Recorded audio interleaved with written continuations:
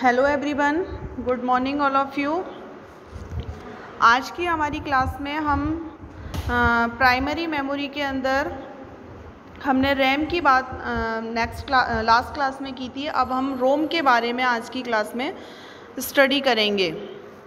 देखिए रोम का जो फुल नेम होता है, वह है रीड ऑनली मेमोरी यह क्वेश्चन भी हमारा आता है।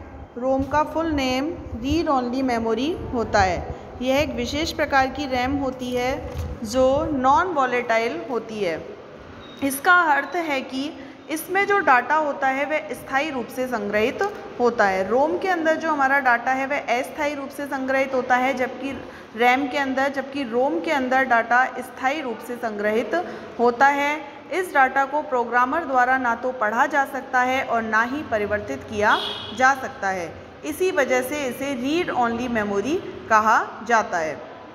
चूँकि जो रोम है, वह नॉन वॉलेटाइल मेमोरी होती है, अतः इसमें संग्रहित डाटा विद्युत प्रवाह के बंद होने पर भी नष्ट नहीं होता है। यदि आपके कंप्यूटर में एक बार इसे स्टोर कर दिया जाता है इस मेमोरी के अंदर, रोम के अंदर तो उसमें रखा हुआ डाटा कभी भी नष्ट नहीं होगा। विद्युत प्रवाह चाहे उसके अंदर चालू हो या चाहे बंद हो, रोम में डाले जाने वाले निर्देश इसकी रचना के वक्त ही डाल दिए जाते हैं। इसमें सामान्यतः पीसी का बूट प्रोग्राम होता है वह संग्रहित किया जाता है।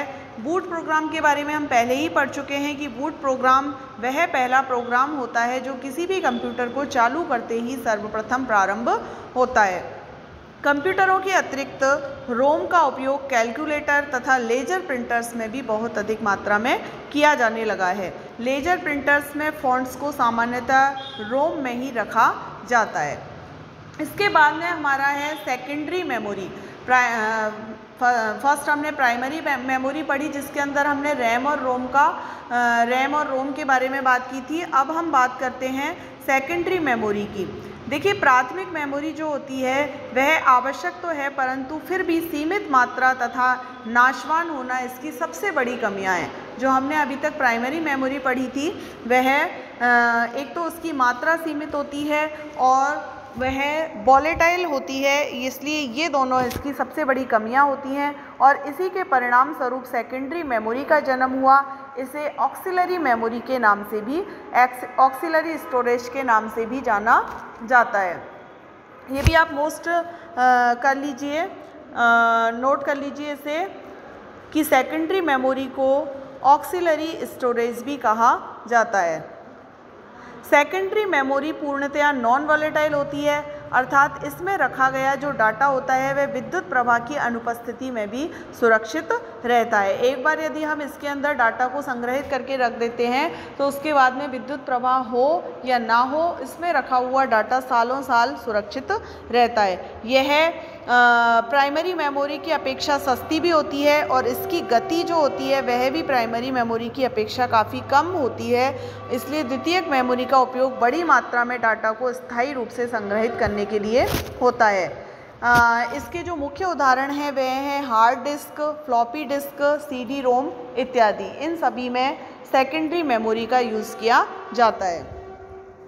नेक्स्ट टॉपिक है हमारा इनपुट आउटपुट उपकरण। आगे हम बात करेंगे इनपुट आउटपुट उपकरण के बारे में। तो देखिए, ये बात तो हम पहले ही जान चुके हैं कि इनपुट क्या होता है और आउटपुट क्या होता है। तो इसलिए मुझे ज़्यादा बताने की आवश्यकता नहीं है इस समय। फिर भी देखिए इनपुट हम उसे कहते हैं जब हम किसी डाटा को, किसी निर्देश को कंप्यूटर के अंदर डालते हैं। उसे हम इनपुट की प्रक्रिया कहते हैं। और जब डाटा कंप्यूटर में इनपुट करने के बाद में कंप्यूटर उसके ऊपर प्रोसेसिंग करके जो हमें परिणाम प्रदान करता है, उन्हें हम आउटपुट कहते हैं।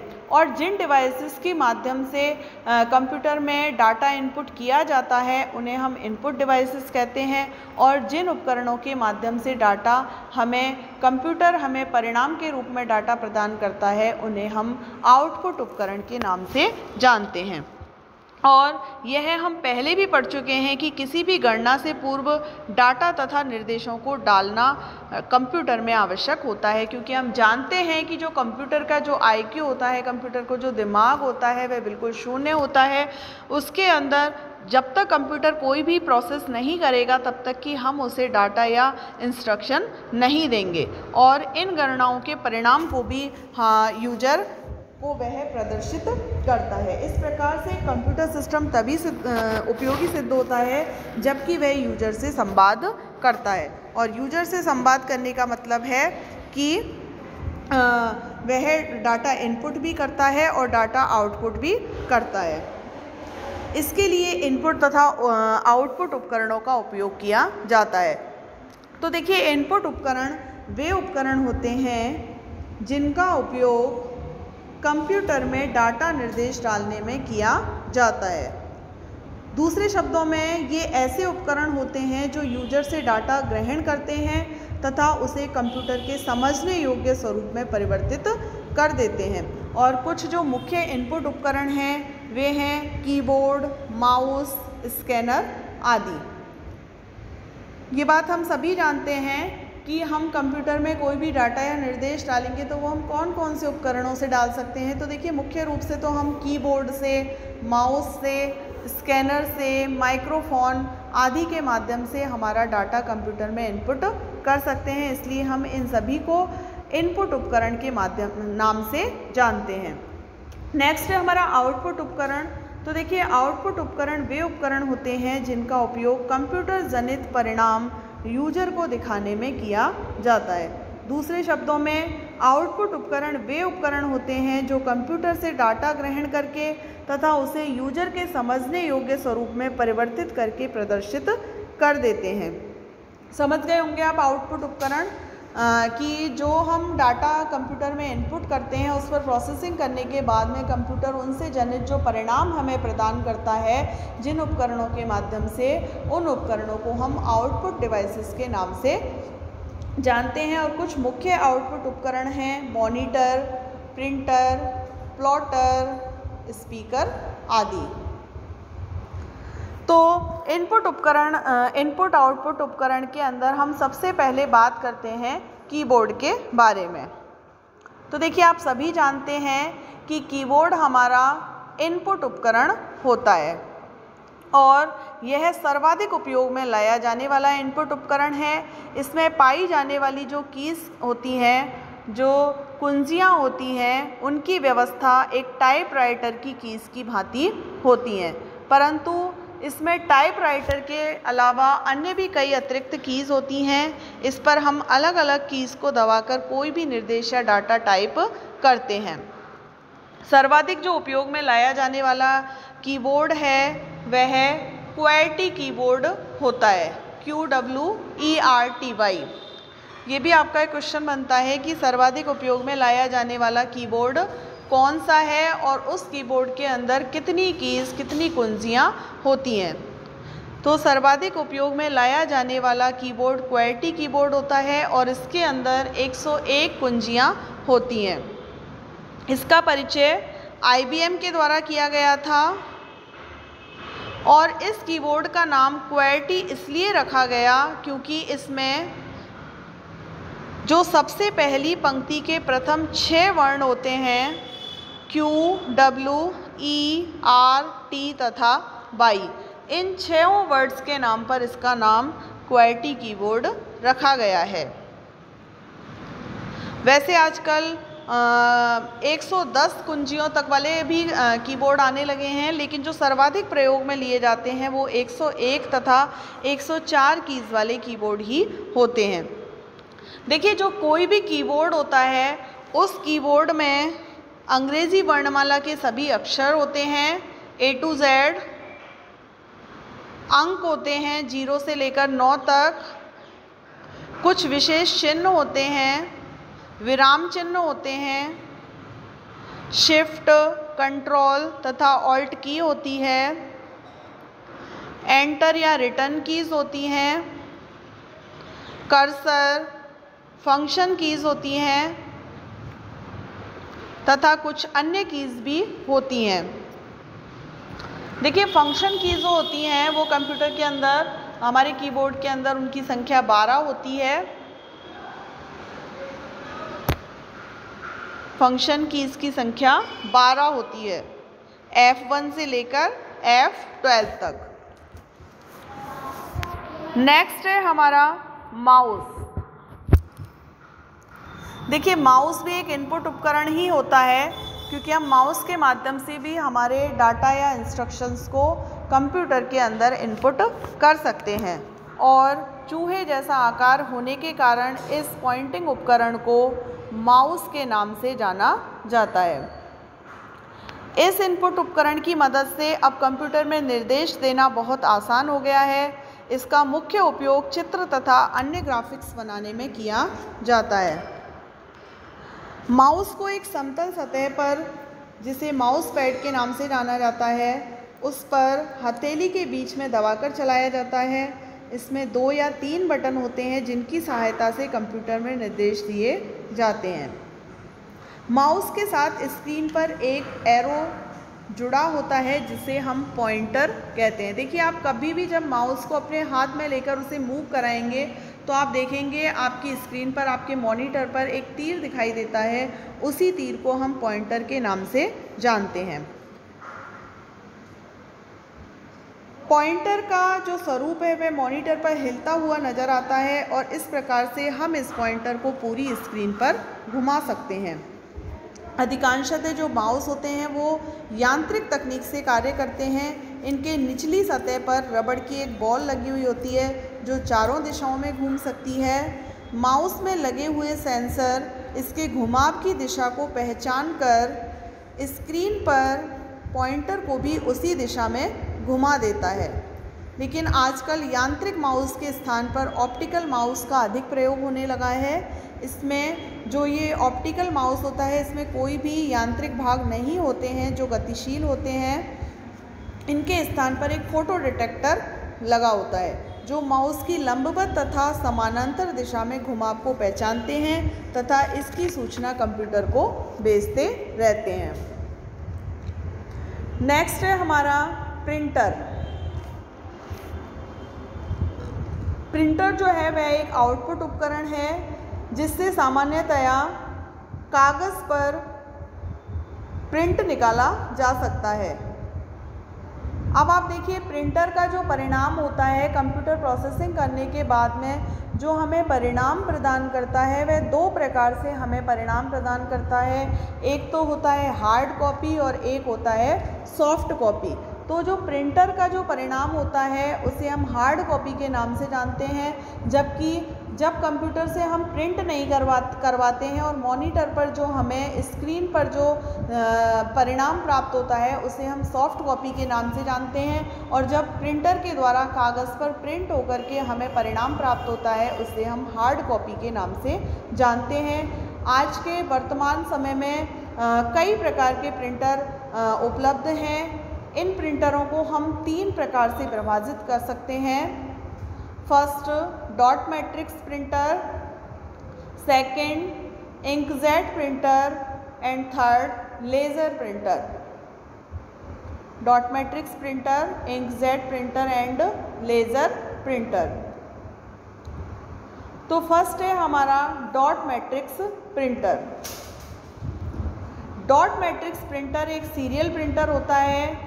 इसमें एक प्रिंट हेड होता है जो एक बार में केवल एक ही अक्षर प्रिंट करता है। प्रिंट हेड में पिनों की व्यवस्था होती है।